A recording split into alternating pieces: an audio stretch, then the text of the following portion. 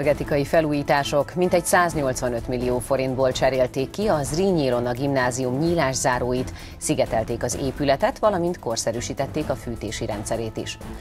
Lopás a munkahelyről. A munkavállalók 80%-a találkozott már valamilyen formában a munkahelyi lopással. Kerüljük el a megbetegedést, megelőzés szempontjából fontos a megfelelő folyadékfogyasztás és a D-vitamin pótlás, valamint érdemes emelt dózisban fogyasztani a C-vitamint is.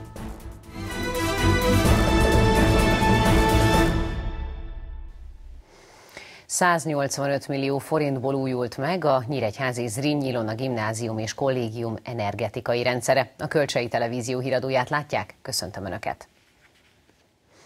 Az iskolában többek között kicserélték az előregedett nyílászárókat és szigetelték az épületet is. A költségcsökkentő és komfortjavító beruházás egy nagyobb, a megyeszékhely több intézményét magában foglaló 1 milliárd forintos korszerűsítési programcsomag részét képezte. Ezekre a korszerű műanyag ablakokra cserélték az Rényi Ilona gimnázium régi nyílászáróit. Nyíregyházi középiskola épülete 1962-ben épült, legutóbb pedig 1993-ban volt az intézményben nagyobb felújítás. A régi ablakok is így már 25 évesek voltak. Idén nyáron indultak a munkálatok a gimnáziumban, melyek egészen október közepéig tartottak. A 185 millió forintos beruházás során a nyílászárók cseréje mellett szigetelték az egész épületet, és korszerűsítették a fűtési rendszert is. Mi mindig, amikor össze kell állítani a saját portfóliónkat, akkor úgy definiáljuk magunkat, hogy gyermekbarát iskola vagyunk, ahol inspiratív tanulási környezetet próbálunk teremteni. Ez múlhat pici esztétikai megoldásokon is, de én azt gondolom, hogy a közérzetet nagyban befolyásolja, hogy maga az épület milyen állapotban van. Ezért örültünk annak, hogy ezen a nyáron három projekt is zajlott az iskolában és a kollégiumban, melyek közül kétségtelenül legnagyobb horderejű volt ez az energetikai felújítás. Az Rényi Ilona gimnáziumban zajlott felújítások egy nagyobb, 1 milliárd forintos, Nyíregyháza több intézményét érintő programcsomag részét képezik. Ha egészen pontosan valamifajta sorrendet szeretnénk feltenni, akkor az egészségügyi alapellátási intézményei, a bölcsödék, az óvodák és az iskolák és a szociális ellátó intézmények jelentős felújításon mennek keresztül. Ennek elsősorban is fő célja az energiamegtakarítás, energiahatékonyság elérése, amely a fűtési költségek csökkentésében jelentkezik, az áram felhasználás költségében csökken, vagy jelentkezik. Tehát ez egy nagyon fontos, fontos célkitűzés. Nagyon fontos célkitűzés, hogy a gyerekek, az ellátottak, az itt dolgozó pedagógusok és szakdolgozók megfelelő méltó körülmények között tudjanak dolgozni, és tudjanak minőségi munkát végezni. A kivitelezések két ütemben zajlottak, elsőként a Vasvári Pál Gimnázium, az egyes számú idősek klubja, valamint a Mustárház újult meg, míg a fejlesztések második ütemében a Sipkai Barna Szakgimnázium és Szakközépiskola, az Rényi Ilona Gimnázium és a Kazinci Ferenc általános iskola újult meg, illetve a polgármesteri hivatal B épületének energetikai korszerűsítése is megvalósult. Nyár végén, őszelején megugrott az újonnan bedőlő jelzálog hitelek száma, derült ki a központi hitelinformációs rendszer adataiból a Portfolio.hu beszámolója szerint. Míg az idei mélyponton júniusban 814, augusztusban már 1269, Szeptemberben pedig csak nem 2487 jelzálog hitel vált nem teljesítővé, mondta Kis Attila, a Központi Hitelinformációs Rendszert üzemeltető BIS ZRT senior üzletfejlesztési menedzsere a lakossági hitelpiacról tartott előadásában. Ugyan ezek között lehetnek régebben felvett hitelek is, amelyeket most már nem törlesztenek az adósok, de a tendencia alapján az a valószínűbb, hogy a nem teljesítő hitelek felfutása mögött az is meghúzódik, hogy az elmúlt pár évben felvett kölcsönöknél is megjelent a nem fizetés. Az is kiderült a Budapesten tartott konferencián, hogy a teljes pénzügyi rendszerben 18% a nem teljesítő hitelek aránya. Ezek nagyobbik részével már nem a bankok bajlódnak, hanem átadták követeléskezelőknek, akik megpróbálják behajtani az elmaradt adósságot, vagy épp eladják a követelést, és azzal együtt az ingatlan fedezetet is. A munkahelyi lopások 15%-át nem merik jelezni a kollégák a vezetőségnek, derül ki egy kutatásból. Ennek általában az az oka, hogy félnek konfrontálódni egymással, nem akarnak besúgónak tűnni, és féltik a pozíciójukat is. A lopások hátterében mindig a nem megfelelő morális értékrend áll. A munkajog nem tesz különbséget az eltulajdonított értékek között pénzbeli nagyságrend szerint, az minden esetben szándékos károkozásnak minősül. Tehát nincs különbség egy csomag szalvéta és egy laptop között. A munkaadók viszont különbséget tesznek. Szemet hunynak a tollak, papírok eltulajdonítása fölött, de a nagyobb értékű tárgyaknál már komoly szankciók lehetnek. Ez lehet egy szóbeli figyelmeztetés, megrovás, levonás a fizetésből, de akár azonnali hatállyal el is bocsáthatják az illetékes munkavállalót. A munkahelyi lopások hátterében különböző okok állhatnak. Természetesen a nagyértékű lopásoknak szinte mindig gazdasági indító oka van, adott esetben, ha az illető tovább ad rajta, keres rajta egy bizonyos összeget, de azt kell, hogy mondjam, hogy rengeteg a kisértékű úgymond lopás is, amely már inkább, inkább tulajdonképpen tükrözi azt, hogy, hogy az illetőnek hol van az ő értékrendje. Mindkettőnél nyilvánvaló, hogy nagyon alacsony a morális értékrend, Magyarázatként én úgy gondolom, hogy nem sok minden szólhat mellette, hiszen ismerünk számos olyan embert, akik nehéz anyagi körülmények között sem nyúlnának semmi esetre sem mások tárgyaihoz, értékeihez, és hát olyanokat is, akik megfelelő vagy egészen jó egzisztenciális helyzetben is eltulajdonítanak dolgokat. Ennek egy speciális változata a kleptománia, amikor az illető nem tudja megállni a lopást. Ezt a kényszeres cselekvést, betegséget az élménykeresés vezérli. A kollégáknak az ilyen és az egyszeri lopásoknál is ugyanaz a teendőjük.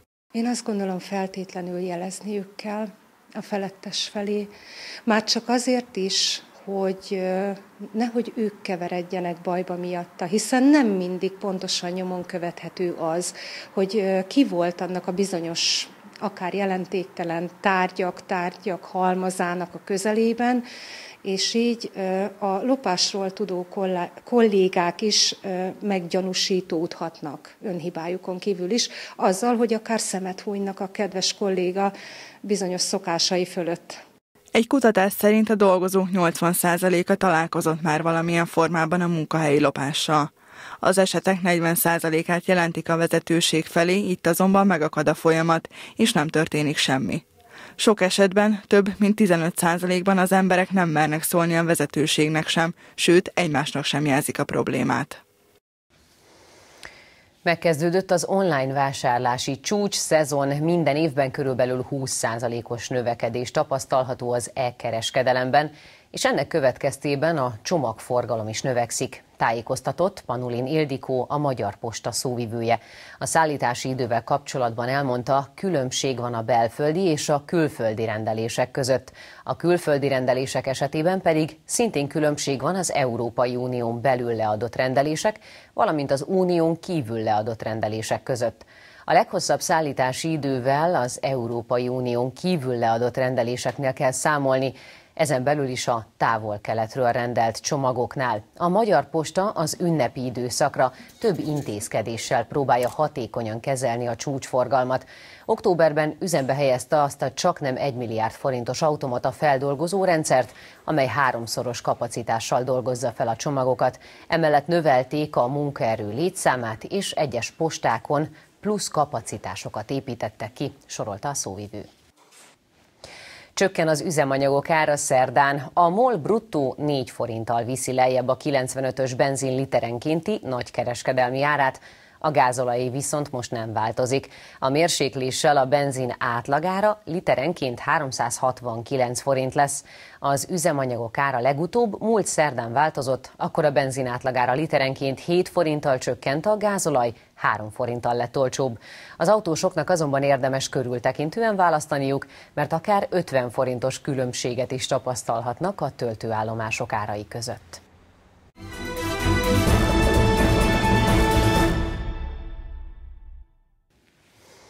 Becslések szerint egy átlagos egészségi állapotban lévő felnőtt évente 3-4 alkalommal esik át náthás megbetegedésen. Ezek közösségekben akár beszéd útján is gyorsan tudnak terjedni. Megelőzés szempontjából fontos a megfelelő folyadékfogyasztás és a D-vitamin pótlás, valamint érdemes emelt dózisban C-vitamint is fogyasztani. Az őszi lehűléssel együtt megérkezett a meghűléses megbetegedések terjedése is. A levegő páratartalma lecsökkent, ilyenkor könnyebben kiszáradnak a nyálkahártyák.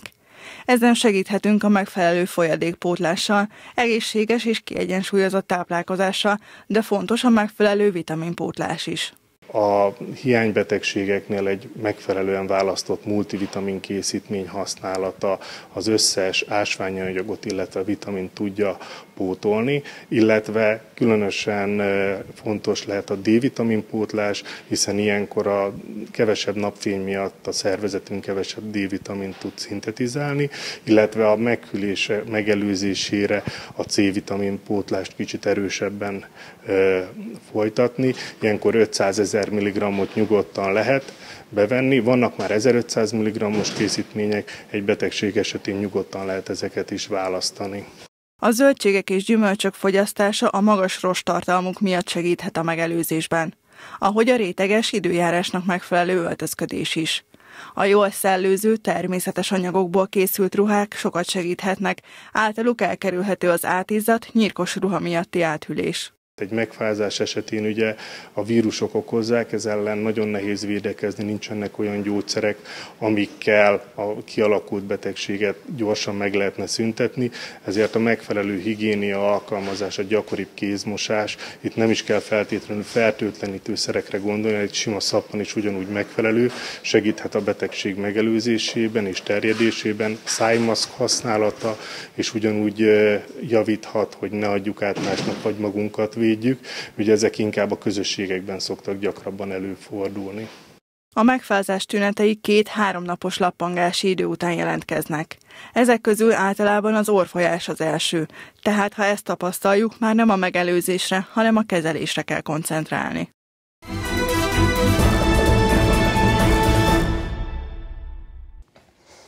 20-13-14 éves szabolcs már Bereg megyei fiú kézilabdázó vett részt Nyíregyházán a szövetség által szervezett felmérésen. Az országos program célja, hogy több lépcsőben kiválassza azokat a tehetségeket, akik a következő években a korosztályos válogatottak és felnőtt nemzeti csapat keretét alkothatják. A Magyar Kézilabda Szövetség egy három lépcsős program keretében több mint ezer serdülőkorú gyerek képességeit méri fel ezekben a hetekben. Kedden Nyíregyházán a megyeszékhelyről, Fehérgyarmatról, Kisvárdáról és Nyírbátorból érkező fiatalok végezték a szövetség szakemberei által előírt feladatokat. Elsősorban a technikai képességeket nézzük, a labdavezetés, a kapuralövési technikák, a cselezési technikák, kérlek szépen nézzük a védekező alapmozgásoknak a végrehajtását, és utána pedig egy következő fázisban pedig játékkészséget nézünk náluk. Ez még a tudás megalapozásának az időszaka, még jelen pillanatban olyan technikákat és olyan taktikákat és olyan felkészítést kapnak, amivel tulajdonképpen a későbbi magasabb szintű technikai, taktikai tudást alapozzuk meg, valamint a játéknak a játosságát próbáljuk kialakítani náluk. A szövetség megyei szakfelügyelője szerint fontos lenne, hogy a kézilabdázók 14 éves koruk után is a megyében maradva bontakoztassák ki tehetségüket. A megyénkben sok gyerek van. Sok gyerek van, de érdekes, hogy a 110 valahány csapat 70% az csak 7, 8, 9, 10 éves kor. Viszont az, hogy ezekből a megkezdett sportoló palántákból lesz-e majd serdülő ifi, Hát ez, ez még messze van. Tudom, hogy nagy a csábítás. Tudom, hogy a Dunántúlon rengeteg keletről elszármazott és a megyéből is elszármazott gyerek van, de valamit lehetne lépni, hisz legközebb Cegléd és Szegeden van például, férfi élsport. Elviszik a gyerekeket, és ezek jó genetikai adottságúak, nem kell messze menni egy Bodó Ricsi, egy Máté Dominik, egy Borbé Maci, de egy kecskeméti, török, Mikita, ezek, ezek nemrég még itt pattogtatták a labdát. Budapest és Pest megye után szabolcs Bereg megyében van a legtöbb igazolt kézilabdázó, a sporták pedig továbbra is népszerű a fiatalok körében. Nem csak a megyében, hanem az egész országban zajlik egy olyan baby boom egyébként ebben a korosztályban, ahol a gyerekekből egyre többen választják egyébként a kézilabdát, mint sportágat, és nekünk, mint megyei szövetségnek nagyon fontos, hogy egyébként ezt a megnövekedett létszámhoz igazodva a játékvezető és a versenybírákat is tudjuk növelni, ezeknek a létszámát, és van egy elvárás egyébként a Magyar Kézilabda Szövetségtől, hogy nem csak növeljük ezeket a létszámokat, hanem egyre fiatalabb korosztályt szólítsunk meg. A megyei kiválasztón túljutó fiatalok egy területi rostát követően kerülnek az országos kiválasztóra. Az ottani 60 gyerek legjobbjaiból alakítják majd ki a serdülő válogatott bőkeretét. 32 csapat részvételével rendezik meg január 4-e és 6-a között a Continental arénában a Kelet-Magyarország Eisman Hungária kupa teremlabdarúgó tornát. Az 500 ezer forint özdíjazású rendezvényre az ország egész területéről érkeznek majd csapatok. 14. alkalommal rendezik meg január első hétvégén a Kelet-Magyarország Eisman Hungária Kupa teremlabdarúgó tornát. A rendezvény felvezető sajtótájékoztatóján a szervezők elmondták, hogy reményék szerint ezúttal is lesznek majd határon túlról érkező együttesek a részvevők között. Az 5 plusz 1 fős csapatok 20-40 méteres pályán 5x2 méteres kapura játszák majd a 2x12 perces meccseket igazi parkettművészek érkeznek erre a tornára az ország különböző pontjairól, vagy éppen a határon túlról is. Jelen pillanatban még most történik a meghirdetés a tornának, de már 17 csapat regisztrálta magát. Tehát az a kérésem, hogy akik szeretnének ezen a tornán elindulni, azok mielőbb tegyék meg, engem a városi stadionba megtalálnak bármikor. Több helyszíne volt ennek a tornának már, hiszen játszottunk a régi buszacsába, aztán játszottunk a filófoci csarnokba, amikor a felújítás volt a mostani Continental arénába, de most már harmadik éve, hogy ismét visszakerült a torna a Continental arénába, és igazi fényes körülmények között kerül lebonyolításra. Ezért is nagyon szeretnek eljönni a csapatok, hiszen vannak olyan távolról érkezők, akik még soha nem is jártak az ország egyik legszebb sportcsarnokában. A torna névadójának reményei szerint a korábbi 13 alkalommal tapasztaltaknál is izgalmasabb meccseket játszanak majd a csapatok. Továbbra is ugyanazt várjuk, mint az elmúlt időszakban. A 13. rendezvényünk is nagyon-nagyon-nagyon sok nézőt vonzott, nagyon sokan voltak a vasárnapi döntőkön is, és ugye a 32 csapat, aki indult a versenyen, az, az nagyon-nagyon-nagyon hamar betelt. Tehát igazából nagy híre van, nagy, nagyon kedvelik a, a sportolók is, a nézők is ezt a rendezvényt, és ezt szeretnénk továbbvinni. A torna összdíjazása 500 ezer forint, emellett a szervezők a legjobb játékost, a legjobb kapust és a gólkirályt is elismerésben részesítik. A mérkőzések január 4-én péntek délután 2 órakor kezdődnek, a döntő két részvevője pedig várhatóan vasárnap este 8 óra körül lép majd pályára. Híradunk végén nézzük a legfontosabb híreket még egyszer röviden. A költségek csökkentését, illetve a diákok és tanárok komfort érzetének javítását szolgálták a Zrínyi a gimnáziumban végrehajtott felújítások. Az 1962-ben épült Nyíregyházi Oktatási Intézmény 185 millió forintból újult meg. Többek között kicserélték az iskola előregedett nyírászáróit és szigetelték az épületet is. A beruházás egy nagyobb, a város több intézményét magában foglaló 1 milliárd forintos korszerűsítési programcsomagnak a részét képezte. Egy kutatás szerint a dolgozók 80%-a találkozott már valamilyen formában a munkahelyi lopással. Az esetek 40%-át jelentik a vezetőség felé, itt azonban megakad a folyamat és nem történik semmi. 15%-ban pedig nem is merik jelezni a kollégák a vezetőségnek az esetet. Ennek általában az az oka, hogy félnek konfrontálódni egymással, nem akarnak besúgónak tűnni és féltik a pozíciójukat. A lopások hátterében mindig a nem megfelelő morális értékrend áll. Az őszi lehűléssel együtt megérkezett a meghűléses megbetegedések terjedése is. Becslések szerint egy átlagos egészségi állapotban lévő felnőtt évente 3-4 alkalommal esik át náthás megbetegedésen. Ezek közösségekben akár beszéd útján is gyorsan tudnak terjedni.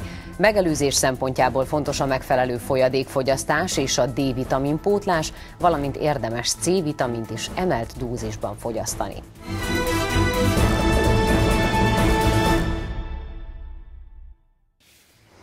Önök a Kölcsei Televízió híradóját látták november 20-án kedden. Friss hírekkel holnap este várjuk majd Önöket. Tudósításainkat addig is elérik a honlapunkon. Én munkatársaim nevében is köszönöm a figyelmüket, a viszontlátásra.